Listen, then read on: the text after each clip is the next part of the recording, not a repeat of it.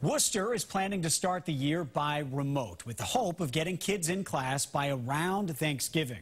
Under the plan now being considered, kids would start school at home September 15th. The remote plan has students learning with the teacher for four days and then working on their own on the fifth day.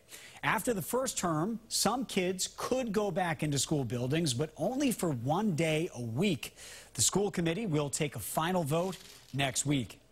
Boston Public Schools are trying to improve air circulation for when kids return there. Today, the school department tweeted out these pictures of workers replacing the windows at the O'Bryant School of Math and Science. At least 150 windows have been replaced now.